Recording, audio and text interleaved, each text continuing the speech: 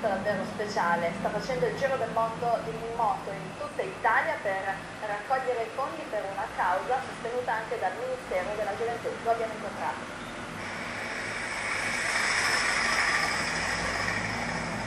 Lui si chiama Simone Severini, è di Torvaianica, vicino a Roma, di professione fa il pasticcere, ma in Italia lo si conosce per un motivo molto particolare. Per il secondo anno Simone sta facendo il Giro d'Italia in moto per solidarietà. In 15 giorni si ferma per tappe programmate su e giù per lo stivale per sensibilizzare cittadini e motociclisti come lui sul tema della pedofilia.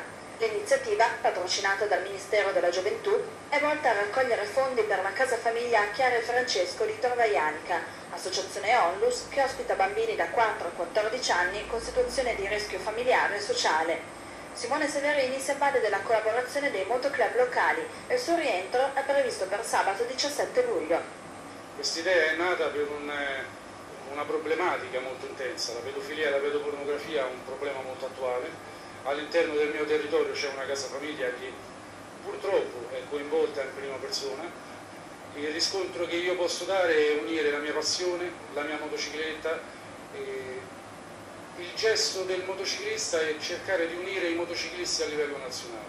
Invece di eh, fare un motoraduno e prendere solo una piccola parte di motociclisti della zona sono io che tappa dopo tappa dopo tappa dopo tappa giro l'Italia a lungo e largo proprio per eh, unire il mondo motociclistico, la passione motociclistica eh, in un unico solo evento.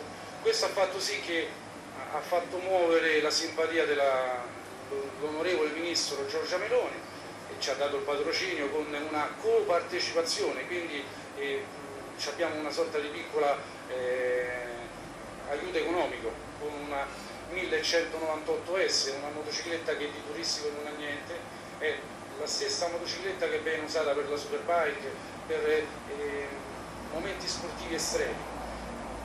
Dietro le spalle ho questa borsa da oltre 40 kg, io sono Simone Severini e più di questo è il gesto quello che conta. Qual è la risposta dei motociclisti d'Italia? Beh, devo dire che ieri sono uscito dal traghetto di Cagliari, mi sono trovato 102 motociclisti che mi hanno scortato fino al comune di Siniscola. Il comune di Siniscola mi ha fatto trovare una, una festicciola, una cosa eh, abbastanza raccolta. Oggi sono qui ad Alessandria, domani siamo a Venezia. Un viaggio quindi a Simone, vi invitiamo a seguire lo speciale stasera alle 19.30. E adesso andiamo a Casale,